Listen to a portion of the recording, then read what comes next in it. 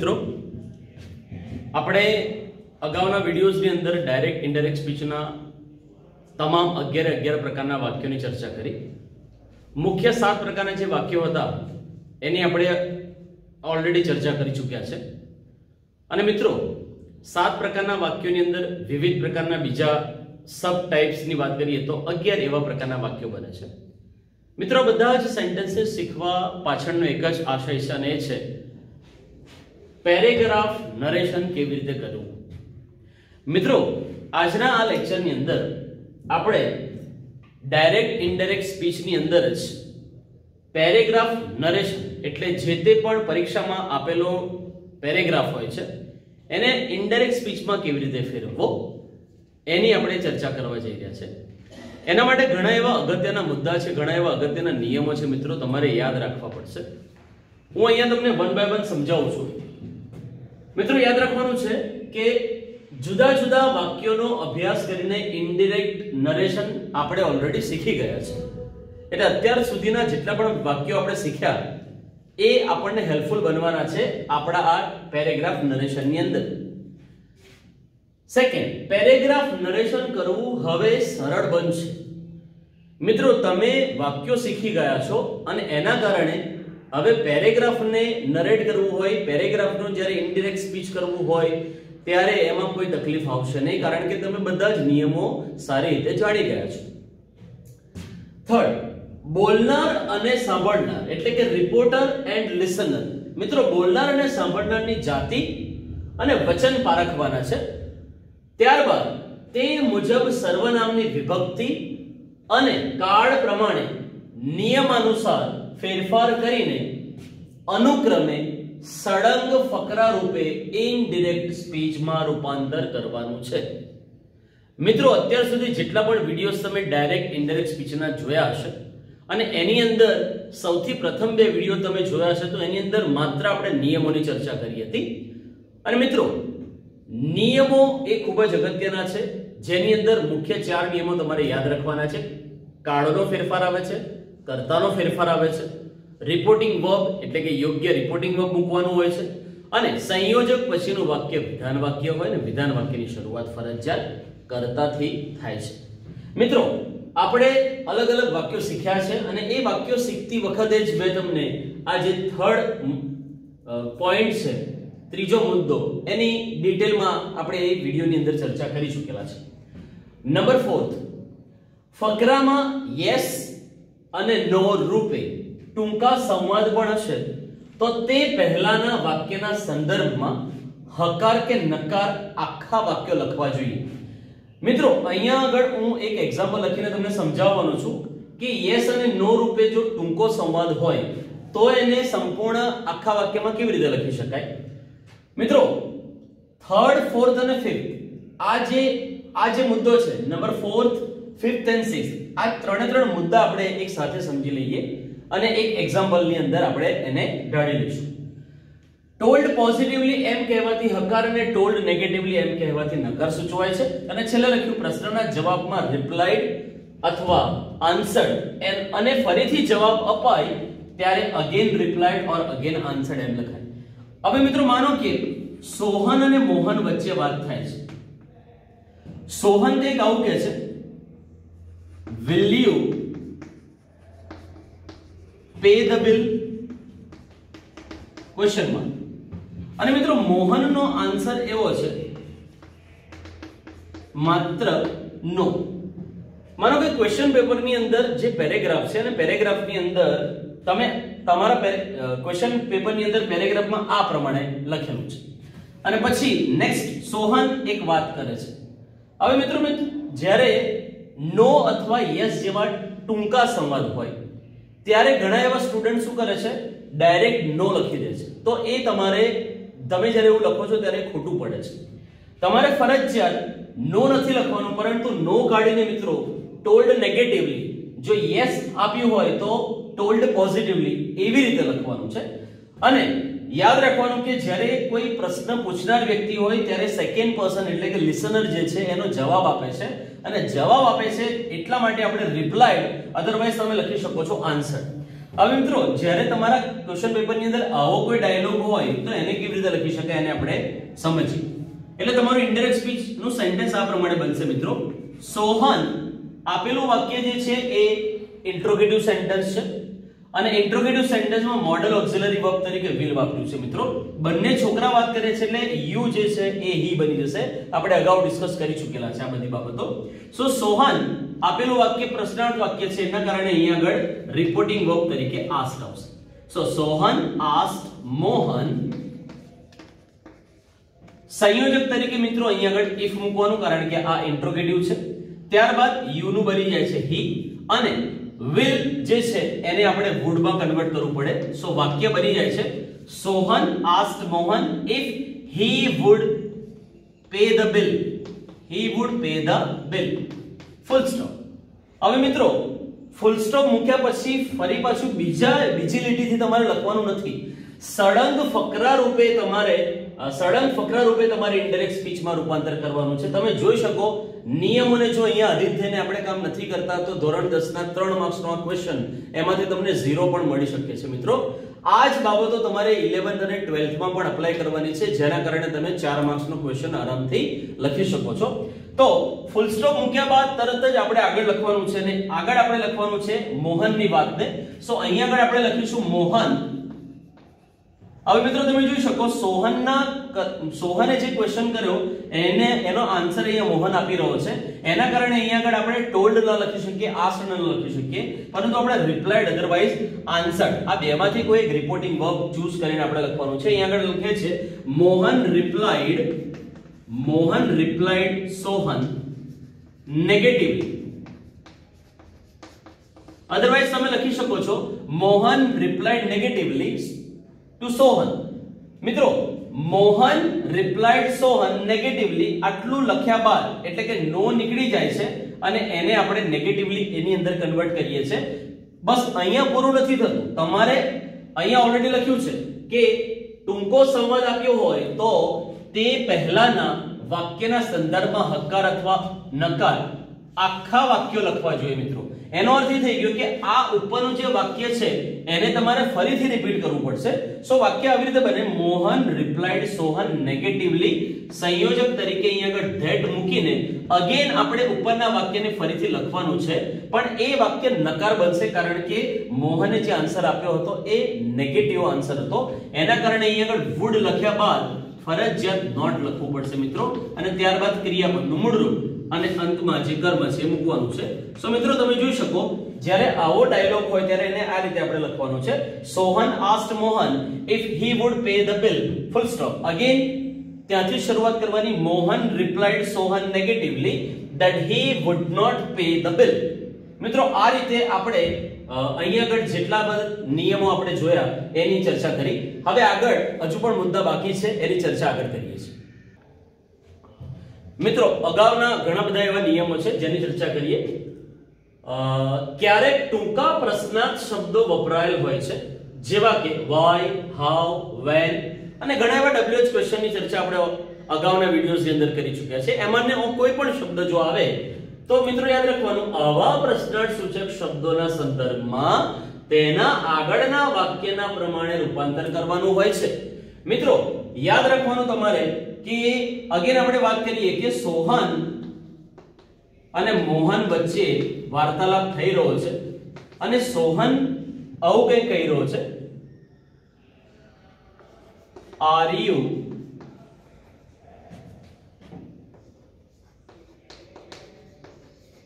going to Anand question અને મોહનનો જે આન્સર છે એ છે ક્વેશ્ચનના સંદર્ભમાં, અને એ છે why are you going to Anand? શું તું આનંદ જઈ રહ્યો છું? અને મોહન એનો આન્સર આપવા નથી માંગતો અને સામે ક્વેશ્ચન કરે છે વાય મિત્રો, યાદ રાખવાનું છે, આવું જ્યારે બને, ત્યારે ફરજિયાત શું થશે? તો એને આપણે આ રીતે કન્વર્ટ કરવાનું છે, સોહન આસ્ટ મોહન ઇફ બંને છોકરા છે એટલા માટે અહીંયા આગળ યુ નું આપણે હી માં કન્વર્ટ કરવાનું. હી ચાલુ ભૂતકાળ બની જાય, સાદો ભૂત ચાલુ ભૂતકાળ, ચાલુ વર્તમાન કાળ બની જાય, ચાલુ ભૂતકાળ. He was going to Anand full stop પછી મિત્રો કન્ટિન્યુ લખવાનું છે, પરંતુ તમે જોઈ શકો. વાય હાઉ વેન કોઈ પણ WH ક્વેશ્ચન હોય, એને આપણે કન્વર્ટ કરીએ છીએ ત્યારે શોર્ટમાં નથી લખવાનું, પરંતુ ઉપરનું જે વાક્ય છે, એ વાક્યના કાળના અનુસાર મિત્રો જે ચર્ચા કરી હમણાં, એની અંદર આગળ વાત કરીએ. તો અહીંયા લખ્યું છે, ક્યારેક ટૂંકા પ્રશ્નાર્થ શબ્દો વપરાયેલ હોય છે, જેવા કે વાય હાઉ વેન એટસેટ્રા ઘણા બધા એવા ડબ્લ્યુએચ ક્વેશ્ચન છે જે ટૂંકો સંવાદમાં તમને આપ્યું હશે. મિત્રો, આવા પ્રશ્નાર્થ સૂચક શબ્દોના સંદર્ભમાં તેના આગળના વાક્ય પ્રમાણે રૂપાંતર કરવાનો છે. માનો કે, સોહન અને મોહન વચ્ચે વાત થઈ રહી છે. મિત્રો, સોહન એવું કહે છે I am going I am going to Anand અને મોહન સોહનને ક્વેશ્ચન કરે છે વાય હવે મિત્રો તમે જોઈ શકો અહીંયા આગળ કે સોહન અહીંયા આગળ એવું કહી રહ્યો છે કે હું આનંદ જઈ રહ્યો છું. અને મોહને માત્ર શોર્ટમાં એક ક્વેશ્ચન કર્યો, કેમ? એટલે કે વાય એનો અર્થ થઈ ગયો કે અધૂરા જે ડબલ્યુએચ ક્વેશ્ચન હોય શોર્ટમાં જે લખ્યું હોય એ ટૂંકા પ્રશ્નાર્થ સૂચક શબ્દોને તમારે ઉપરના વાક્યના કાળના અનુસંધાનમાં આખા વાક્ય લખવાના છે. કેવી રીતે? તો અહીંયા આગળ આપણે લખીએ છીએ, સોહન આ ઉપરનું વાક્ય વિધાન વાક્ય છે એટલે અહીંયા આગળ રિપોર્ટિંગ વર્બ તરીકે ટોલ્ડ આવશે મિત્રો. લિસનર તરીકે મોહન આપણે લખીશું. ત્યારબાદ સંયોજક તરીકે ધેટ મૂક્યા બાદ આપણે આ ચાલુ વર્તમાન કાળનું જે વાક્ય છે નિયમ પ્રમાણે ચાલુ ભૂતકાળમાં ફેરવાઈ જશે. બંને છોકરાઓ વાત કરે છે એટલા માટે આ જે આય છે, એને આપણે હીમાં કન્વર્ટ કરીશું. ચાલુ ભૂતકાળના સૂત્ર પ્રમાણે કરતા પછી વોઝ કે વર આવે, અહીંયા હીની સાથે વોઝ જશે. ક્રિયાપદની પાછળ ગોઈંગ મૂકીને કર્મ મૂકીશું તો વાક્ય કંઈક આ રીતે બને. Sohan told Mohan that he was going to Anand. Full stop પછીનું જે વાક્ય છે મિત્રો, એને શોર્ટમાં વાયથી નથી લખવાનું, પરંતુ ઉપરના વાક્યના કાર્ડના અનુસંધાનમાં આખું વાક્ય લખવાનું છે. ઉપરના વાક્યના કાર્ડના અનુસંધાનમાં એટલે અહીંયા આગળ આ ચાલુ ભૂતકાળનું વાક્ય બન્યું છે. બસ એ જ વાક્ય કન્ટિન્યુ જશે. એટલે વાક્ય આ રીતે બનશે. મોહન અહીંયા આગળ ક્વેશ્ચન કરે છે. એટલા માટે રિપોર્ટિંગ વર્બ તરીકે આસ્ક જશે. લિસનર તરીકે સોહન બની જશે મિત્રો. અને સંયોજક તરીકે જે તે પણ ડબલ્યુએચ ક્વેશ્ચન હોય, એ જ ડબલ્યુએચ ક્વેશ્ચન અહીંયા આગળ સંયોજક બને છે. એ આપણે ઓલરેડી આપણા પ્રીવિયસ વિડીયોની અંદર વાત કરી ચૂક્યા છે. એટલે વાય છે એટલે વાય સંયોજક બની જશે. અને y મૂક્યા બાદ આ જે વાક્ય હતું ઉપરના કાળના અનુસંધાનમાં જ તમારે આખું વાક્ય લખવાનું છે, જે અહીંયા આગળ મુદ્દામાં તમને કહ્યું છે. તો એ કેવી રીતે? તો ફરીથી અહીંયા આગળ સંયોજક પછી વાત લખવાનું છે. Why he was going to, why he was going to Anand. Full stop મિત્રો તમારે ત્રણમાંથી ત્રણ માર્ક્સ લેવા હશે અને આવા ટૂંકા જો સંવાદ હશે, તો તમારે આવી રીતે સંપૂર્ણ આખા વાક્યમાં તમારે લખવું પડશે. આગળ વાત કરીએ. મિત્રો, એકની એક વ્યક્તિ વારંવાર પ્રશ્ન પૂછે, ત્યારે અગેન આસ્ક અધરવાઇઝ ઇન્ક્વાયર્ડ એવી રીતે આપણું રિપોર્ટિંગ વર્બ બની જાય છે. સર અથવા મેડમ જેવા માનવાચક શબ્દો ફરજિયાતપણે ઇનડાયરેક્ટ સ્પીચના પેરેગ્રાફમાંથી મિત્રો નીકળી જાય છે. અને તમે ત્યાં આગળ રિપોર્ટિંગ વર્બ લખતી વખતે told with respect otherwise replied with respect આવી રીતે રિપોર્ટિંગ વર્બ મૂકી શકો છો. અને મિત્રો એ જ રીતે ડિયર અથવા ડાર્લિંગ જેવા જે પ્રેમથી ઉચ્ચારેલ જે શબ્દો છે, એ શબ્દો પણ નીકળી જાય છે ઇનડાયરેક્ટ સ્પીચના પેરેગ્રાફમાં થી અને તમે ટોલ્ડ લવિંગલી એવી રીતે તમે તમારું રિપોર્ટિંગ વર્બ બનાવી શકો છો. અને અગત્યની વસ્તુ મિત્રો, એક જ વ્યક્તિ બે સંવાદ બોલે. કોઈ એક વ્યક્તિ, માનો કે સોહન એક વાક્ય બોલ્યો છે અને ફૂલ સ્ટોપ મૂક્યા બાદ ફરત, તરત જ સોહન જ કંઈક વાત કરી રહ્યો છે. ત્યારે તમારે ફરજિયાત કરવાનું છે. વિધાન વાક્યની અંદર રિપોર્ટિંગ વર્બ તરીકે તમારે એડેડ એમ તમારે બીજું વાક્ય જોડવાનું છે. તો મિત્રો, પેરેગ્રાફ નરેશન કરતી વખતે તમે અહીં આગળ જે 11 મુદ્દાની આપણે ચર્ચા કરી, એ 11 મુદ્દા તમારે યાદ રાખવાના છે. હજુ ઘણા એવા નાના મુદ્દા બાકી છે, જે આપણે આગળના વિડીયોઝની અંદર વાત કરીશું. તમે જો નોલેજ હાઈસ્કૂલના વિદ્યાર્થીઓ હોય મિત્રો, તો અહીં આગળ જેટલા પણ મુદ્દા મેં સમજાયા છે, લખ્યા છે એની તમારે નોટ્સ તૈયાર કરવાની છે અને આપેલા મારા નંબર ઉપર તમારે મને વોટ્સઅપ કરવાનું છે. તમે અન્ય શાળાના વિદ્યાર્થીઓ હો તો પણ તમારે સારી એવી નોટ્સ તૈયાર કરીને તમારા વિષય શિક્ષકને મોકલી દેવાની છે. Thank you very much good morning મિત્રો. ડાયરેક્ટ ઇનડાયરેક્ટ સ્પીચના પેરેગ્રાફ નરેશનની આપણે વાત કરી રહ્યા હતા અને જેના અગાઉના વિડીયોની અંદર આપણે ઓલરેડી અલગ અલગ અગિયાર મુદ્દાઓની ચર્ચા કરી ચૂક્યા છે. આ અગિયાર અગિયાર મુદ્દાઓની સાથે મિત્રો, હજુ ઘણી બધી બાબતો બાકી છે, જેને તમે ધ્યાનમાં લેશો. ખાસ કરીને વાક્યના સંદર્ભ અનુસાર અમુક શબ્દો વપરાય છે અને તેને બરાબર યાદ તમારે રાખવા જોઈએ. મિત્રો, ભાવ અનુરૂપ તમારે જે તે પણ શબ્દો છે, જે તેમાં રિપોર્ટિંગ વર્ક છે મૂકવાના છે અને આવા ઘણા એવા કેટલાક શબ્દો છે જે નીચે લિસ્ટ આઉટ કરેલા છે. મિત્રો, યાદ રાખજો, યાદ અપાવવા માટે તમે રિમાઇન્ડેડ નો ઉપયોગ કરી શકો. આમંત્રણ આપવા માટે ઇન્વાઇટેડ રિપોર્ટિંગ વર્બ મૂકી શકો. ટીકા અથવા ટકોર કરવા માટે, મિત્રો રિમાર્ક્ડ શબ્દ નો ઉપયોગ કરી શકો તમે. માહિતી આપવા માટે તમે ઇન્ફોર્મ્ડ શબ્દનો ઉપયોગ કરી શકો છો. ચેતવણી આપવા માટે તમે વોન્ડ રિપોર્ટિંગ વર્બ મૂકી શકો. ત્યારબાદ, મિત્રો, આજીજ એટલે કે વિનંતીનો ભાવ રહેલો હોય, આજીજીનો ભાવ રહેલો હોય ત્યારે બેગ્ડ શબ્દ લખી શકાય છે. ખાતરી કરાવવા માટે મિત્રો રીઅશ્યોર્ડ શબ્દને તમે રિપોર્ટિંગ વર્બ તરીકે ઉપયોગમાં લઈ શકો. અને મિત્રો, જ્યારે તમારે ઉત્સાહપૂર્વક કહેવું હોય, ત્યારે તમે ટોલ્ડ એન્થુઝિયાસ્ટિકલી એ પ્રમાણે રિપોર્ટિંગ વર્બ નો ઉપયોગ કરી શકો. ત્યારબાદ મિત્રો, ફરીથી કહેવા માટે રિપીટેડ શબ્દનો ઉપયોગ કરી શકાય છે. જો વાક્યને વિધાન વિધાન વાક્ય આપ્યું હોય ત્યારે આપણે ટોલ્ડ વાપરીએ છીએ. પરંતુ મિત્રો તમે સ્ટેટેડ શબ્દને રિપોર્ટિંગ વર્બ તરીકે અપનાવો છો અને એને તમે લખો છો તો પણ એ ખોટું નથી. એટલે કે વિધાન કરવા માટે તમે સ્ટેટેડ રિપોર્ટિંગ વર્બ મૂકી શકો છો. વર્ણન કરવું હોય ત્યારે મિત્રો તમે રિલેટેડ શબ્દનો ઉપયોગ કરી શકો. પૂછતાછ કરવા માટે તમે ઓલરેડી જાણો છો એ પ્રમાણે ઇન્ક્વાયર્ડ રિપોર્ટિંગ વર્બ મૂકી શકાય છે. ધમકી આપવા માટે મિત્રો ફરજિયાત થ્રેટન્ડ રિપોર્ટિંગ વર્બનો ઉપયોગ કરવાનો છે. પ્રાર્થના કરવા માટે પ્રેડ જેવી રીતે આપણે પ્રેઇંગ વાળા વાક્યોમાં જોઈ જોઈ ચૂકેલા છે. પ્રાર્થના કરવા માટે પ્રેડ રિપોર્ટિંગ વર્બ મુકાય છે. સહાનુભૂતિ મિત્રો પ્રદર્શિત કરવી હોય ત્યારે સહાનુભૂતિ પ્રદર્શિત કરવા માટે તમારે ફરજિયાત ટોલ્ડ સિમ્પેથેટિકલી એ પ્રમાણે રિપોર્ટિંગ વર્બ તમારે મૂકવાનું છે. અને પ્રશંસાપૂર્વક જ્યારે તમારે કેવું હોય ત્યારે ટોલ્ડ એડમાયરિંગલી એ પ્રમાણે તમારે રિપોર્ટિંગ વર્બ મૂકવાનું છે. મિત્રો, અહીંયા આગળ નોટ આપી છે, એક નોંધ છે. આ ચાર મુદ્દાને તમારે સૌથી વધારે યાદ રાખવાને. સૌથી પ્રથમ બાબત મિત્રો, ટૂંકા અધૂરા વાક્યો તમારે પૂર્ણ કરવા જ પડશે. ટૂંકા અધૂરા વાક્યો હોય ત્યારે એને આપણે પૂર્ણ કરીને જ સંપૂર્ણ પૂર્ણ વાક્યોની અંદર આપણે લખવાનું છે. મિત્રો, યાદ રાખવાનું છે. સેકન્ડ જે બાબત છે છે વાતચીતની ભાષામાં કેટલીક સ્પષ્ટતા કરવા જરૂરી શબ્દો ઉમેરો.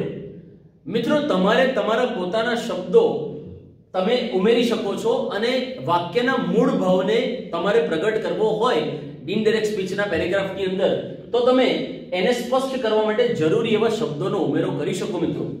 થર્ડ સંવાદમાં રહેલા મૂળ ભાવને વ્યક્ત કરવા પ્રયત્ન કરો. મિત્રો, જે ડાયરેક્ટ સ્પીચનો પેરેગ્રાફ છે, એને જ્યારે ઇનડાયરેક્ટ સ્પીચમાં ફેરવીએ છીએ, ત્યારે સંપૂર્ણ પેરેગ્રાફ જે છે, એના મૂળ ભાવને વ્યક્ત કરવાનો તમારે પ્રયત્ન કરવાનો છે. અને સૌથી અગત્યની બાબત, શબ્દોને સળંગ ફકરામાં લખવાનો છે. મિત્રો, ઘણા એવા વિદ્યાર્થીઓની સપ્લિમેન્ટરીમાં મેં જોયું છે કે અંડરલાઈન કરીને અથવા ટીકમાર્ક કરીને સેન્ટેન્સ બાય સેન્ટેન્સ લખે છે. મિત્રો, આ રીતે તમે જો લખો છો તો આ ત્રણ માર્ક્સમાંથી તમને ઝીરો માર્ક્સ મળી શકે અને બોર્ડની સપ્લિમેન્ટરીની અંદર ચોકડી મારીને તમારો જે આખો આન્સર છે, એને ઝીરો માર્ક્સ તમને આપવામાં આવશે. એટલે આ બહુ અગત્યની બાબત છે ને એ છે, સળંગ ફકરામાં લખવાનું છે અને એ સળંગ ફકરો તમે જ્યારે બનાવો છો, એના માટે તમે જરૂરી શબ્દો ઉમેરી શકો છો મિત્રો. તો આમ કરીને આપણે પેરેગ્રાફ નરેશન માટે અલગ અલગ અલગ મુદ્દાઓની ચર્ચા કરી ચૂક્યા છે. હવે આપણે જે નેક્સ્ટ વિડીયોમાં આપણે વાત કરીશું, એમાં આપણે એક પેસેજ લઈશું. એ સંપૂર્ણ પેસેજને ઇનડિરેક્ટ સ્પીચની અંદર કેવી રીતે ફેરવી શકાય? અગાઉના અગિયાર પ્રકારના વાક્યો, સાથે સાથે અહીં આગળ પેરેગ્રાફ નરેશન છે. એ બધાનો એક એક બ્લેન્ડ તૈયાર કરીને આપણે ડાયરેક્ટ સ્પીચને ઇનડાયરેક્ટ સ્પીચમાં ફેરવવાનો પ્રયત્ન કરીશું. તો મિત્રો, તમે જો નોલેજ હાઈસ્કૂલના વિદ્યાર્થીઓ હોવ તો તમારે અહીંયા જે બોર્ડમાં મેં લખ્યું છે, એની સરસ એવી સારી નોટ્સ તૈયાર કરીને આપેલા મારા નંબર ઉપર તમારે મને વોટ્સએપ કરવાનું છે. તમે જો અન્ય શાળાના વિદ્યાર્થીઓ હોવ મિત્રો, તો પણ તમારે ફરજિયાત તમારા વિષય શિક્ષકોને આ જે નોટ્સ છે એ મોકલી આપવાની છે. Thank you very much